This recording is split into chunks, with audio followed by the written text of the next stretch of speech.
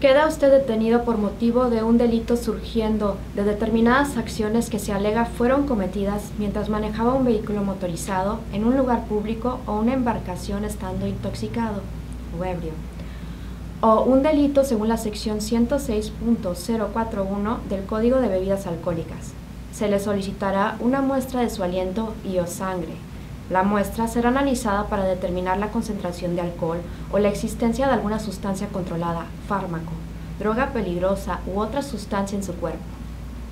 Si usted se niega a proporcionar una muestra, esa denegación podría ser admisible en un enjuiciamiento posterior. Su licencia, permiso o privilegio para manejar un vehículo motorizado será suspendido o negado por un periodo no inferior a 180 días, independientemente de si llegara a ser enjuiciado posteriormente por este delito. Si se niega a someterse a la toma de la muestra, el oficial podría aplicar para una orden autorizándole a obtener la muestra de usted.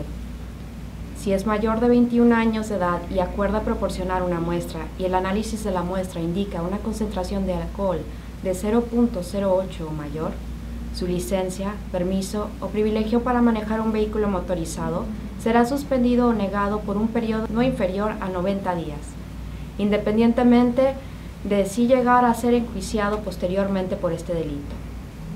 Si es menor de 21 años de edad y tiene cualquier cantidad perceptible de alcohol en su cuerpo, su licencia, permiso o privilegio para manejar un vehículo motorizado será suspendido o negado por un periodo no inferior a 60 días. Sin embargo, si acuerda proporcionar una muestra y el análisis de la muestra indica que tiene una concentración de alcohol de menos de 0.08, es posible que su castigo penal sea menor que los castigos que se han establecido conforme el capítulo 49 del Código Penal. Si estaba manejando un vehículo motorizado y se niega a proporcionar una muestra, o si la muestra indica que usted tiene una concentración de alcohol de 0.08 o mayor, usted podría quedar inhabilitado para manejar vehículos motorizados comerciales por un periodo mínimo de un año.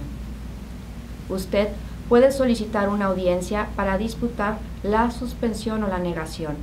El Departamento de Seguridad Pública de Texas debe recibir la solicitud correspondiente en su sede central en Austin, Texas, dentro de un plazo máximo de 15 días a partir de la fecha en que usted recibe o se supone que haya recibido el aviso de suspensión o negación.